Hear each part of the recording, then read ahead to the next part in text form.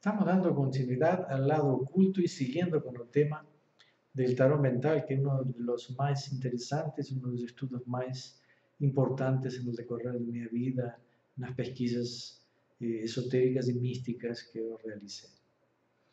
Eh, vamos a decir así, que estos estudos eh, tienen mucho a ver con o encontro dentro de nós de algo que empezamos a considerar sagrado y que durante el decorrer de nuestra vida no tenemos conciencia de ese valor de esa existencia.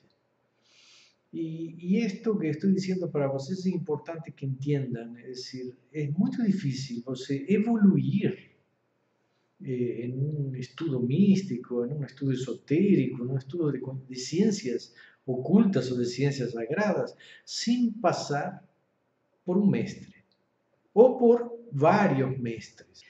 Por eso tengo que agradecer siempre a mis mestres, el primero de ellos que me enseñó cábala hebraica y después cábala egipcia en un periodo posterior, fue Rabbi Mendel Ben Shmuel. Y ficou claro también en aquella época que estudiábamos con él, un grupo de estudios, que el método de Chevalpé, es decir, pasar de boca a oído, es la fórmula real de, eh, do aprendizado de cualquier conocimiento espiritual o místico. Pasó o tiempo y conviviendo con los mestres, eu comecei a entender que por momentos, cuando eles se iluminan o entran en un estado de iluminación, debemos dejar de pensar y comenzar a sentir. Así podemos infundir con su sabiduría y en un instante compartilhar esa iluminación. O saber místico no puede ser alcanzado por lectura, mas por una comunión do amor ao saber.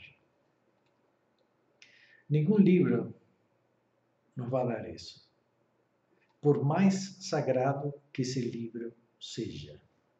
Então, é uma coisa interessante, vocês vão ver que existem mestres em estado de iluminação que são importantes para vocês eh, aprender a, a se conhecer, a tocar, digamos assim, as teclas, as cordas de sua própria alma e produzir a harmonia, a música que você quer ouvir de si mesmo e aquela muitas vezes que você nem imagina que poderia produzir.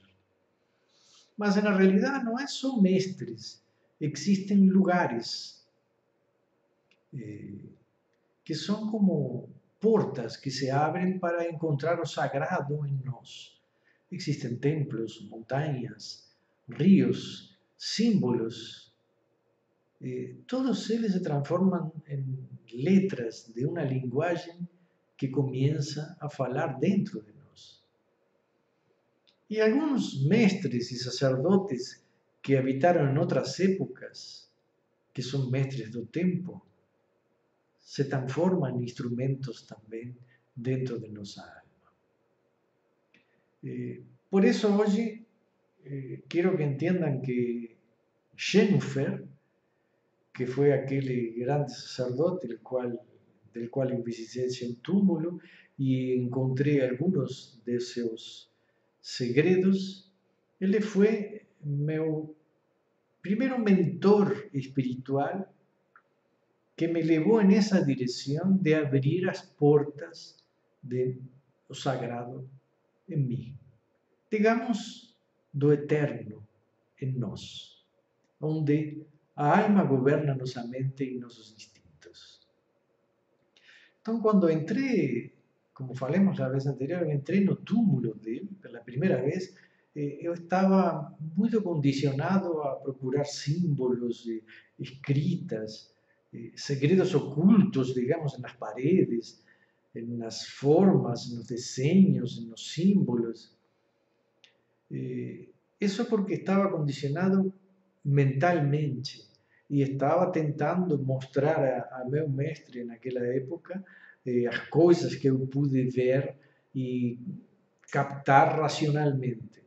Só quando entrei na segunda vez, e que foi para ficar uma noite a sós, eh, dentro do túmulo, em um silêncio, iluminado só por velas, é que eu entendi e eu percebi o que realmente é um encontro com o Eterno.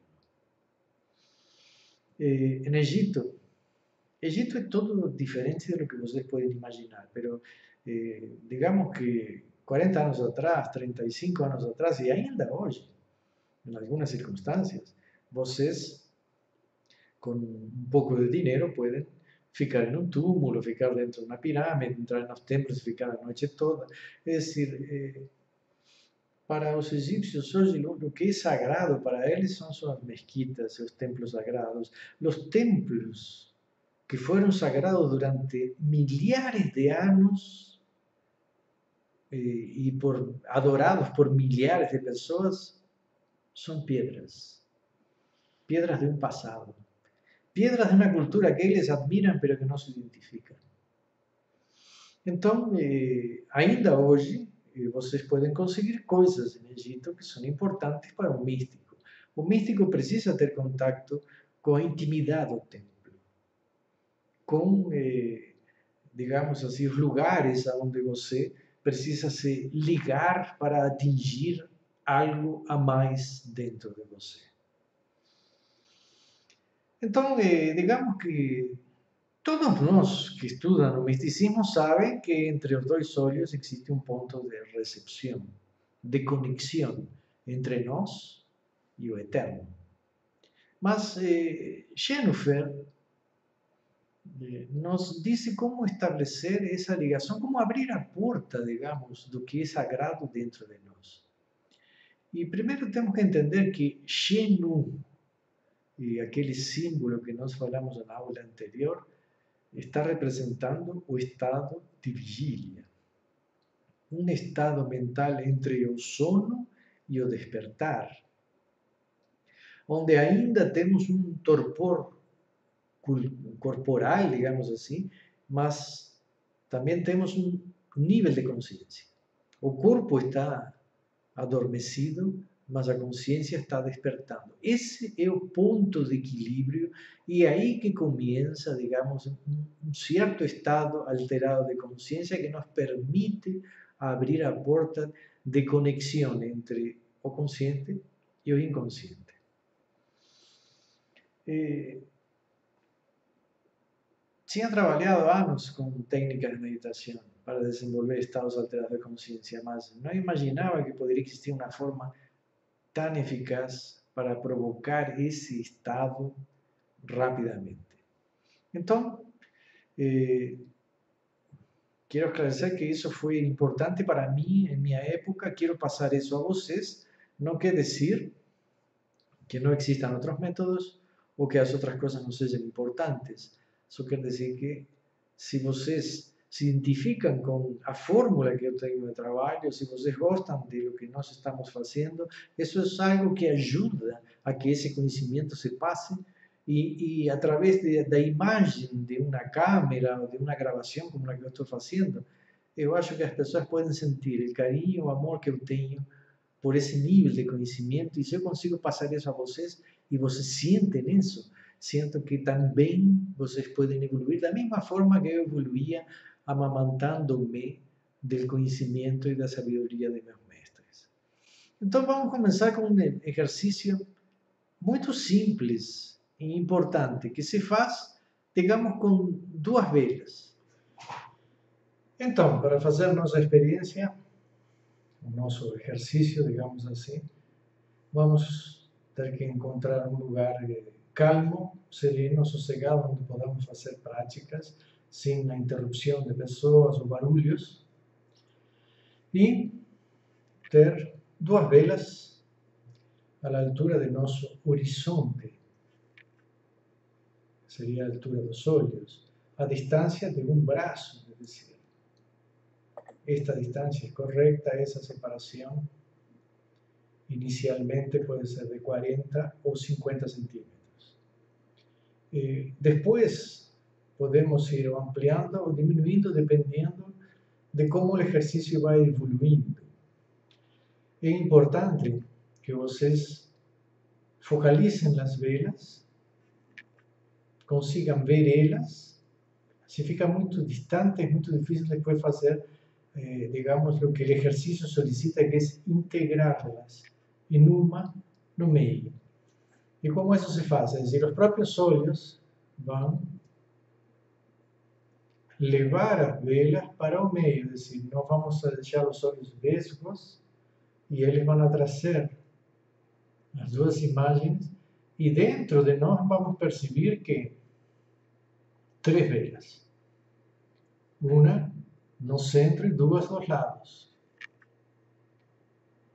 Cuando percibimos a vela no centro, nos vamos tentar manter ese nivel de concentración, de esforço dos olhos y fechando los olhos levamos esa sensación para cima. Y van a ver que comienza a tener una presión en este punto. Esa presión nos marca o foco, que es el que debemos manter, manter o foco en esa presión entre los olhos. Eh, mantendo o foco, podemos comenzar después a trabalhar com as forças do verbo ou as forças do recado, que era o conceito de palavras de força ou palavras mágicas que existiam no Antigo Egito.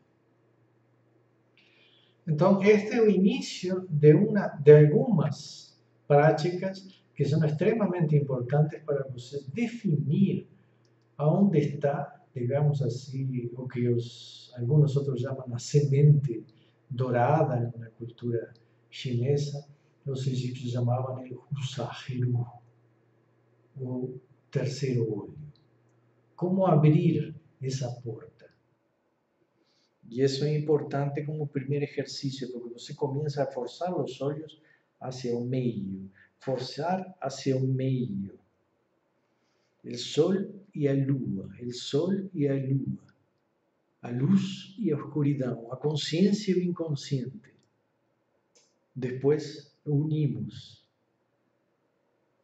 Quando unimos no centro, é que começamos a produzir ou a reproduzir um estado de vigília.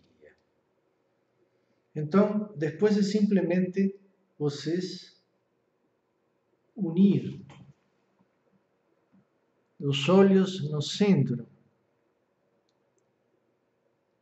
y van a sentir una enorme presión no medio. Existen otros métodos para producir esa presión no medio, simplemente oleando a punta de una agulla. Ustedes colocan una agulla, una agulla, ¿ven? Una agulla, sin tocar, lo colocan aquí en medio de los olhos y van a empezar a sentir una presión entre los olhos. Esa presión es a percepción de un punto central. Ustedes no pueden meditar en algo que no se siente, mas cuando ustedes forzan los olhos al encuentro del punto central, o cuando ustedes crean una presión a través de energía que se libera na ponta das agulhas, ustedes focalizan al focalizar o punto, van a ver que surge un estado de serenidad y paz interior. Un estado de semivigilia. Por eso ese punto es el cual nos permite abrir a puerta, a janela, digamos, a un mundo inconsciente. Eh, acho que el estado de vigilia es un estado alterado de conciencia. Eh, esa, esa presión que se llega, ustedes van a sentir claramente un estado de relajamiento corporal. Eh, tenemos que unir eso con lo que los egipcios llamaban un jicao. Y esa es una de las cosas que fui viendo y aprendiendo dentro del túmulo de Shenufer. Era como si la alma de él falase sobre lo que él sintió y cómo él desenvolvió ese conocimiento. El, el Shen y el Gen, el, el, el, no que une lo que está en bajo con lo que está encima y el Gen que vacía, que recebe. Entonces, si nos eh, nos concentramos bien en el Shen, Shen, no, Shen. Pero cuando hacemos eso, cuando llegamos al punto de percepción de ese punto de presión que existe entre los olhos, no adianta eu dizer, ah, estou meditando, agora estou sentindo eh, que aqui é onde tenho que meditar. Pero quando vocês realmente sentem, vão sentir uma pressão. E essa pressão é a que provoca, digamos assim, eh, um estado especial de semi eh, estado místico, porque vocês estão entrando em uma linha, em uma frequência de vibração diferenciada de, de, da normal que o cérebro tem. O normal o cérebro trabalhar com os olhos dentro de uma certa frequência, captar imagens, essas imagens passam pela amígdala e nós vamos ter sensações emocionais sobre o que estamos vendo, de harmonia ou desarmonia, gosto ou não gosto, e aí o cérebro começa a estabelecer uma função, uma mente começa a funcionar. Mas quando vocês eh, bloqueiam isso e se centram em um ponto, a mente reage de uma forma desconhecida e ela adormece, que é o que necessitamos para chegar a esse estado alterado de consciência. Então, vocês se concentram no Shenu, unem um ponto central e empiezan a vibrar dentro de sua mente nesse ponto. Shen, Shen,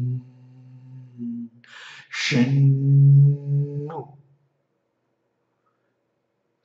Y uno tiene una sensación de alegría y paz y serenidad, a donde comienza a haber una serie de imágenes, algo que viene de dentro, algo comienza a ser evocado. Es como si abriesen la puerta a un bello conocido que quiere entrar na sua casa racional e começar a falar com você, só que ele não fala português, nem castelhano, nem inglês, ele fala através de sensações e de símbolos. É, muitas vezes nesse estado de shin, shin, não tem que pronunciar, tem que vibrar dentro da mente e nesse ponto. Aí começa uma liberação de parasentidos. Muitas vezes vamos a ter imagens de um futuro, vamos sentir vozes, ver coisas. É uma clareaudiência, uma clarividência. Todos os parasentidos empiezam a manifestar porque está todo integrado no nosso ser. Então, eh, acho que não existem poseedores de verdades únicas. Eu sei que eu achei minhas verdades por amor à cultura e a meus mestres e aquilo que encontrei como sagrado em mim. Podem alimentar sua mente com leituras informações, mas lembrem que é importante deixar sempre seu coração guiar vocês na procura de lo que é sagrado para vocês.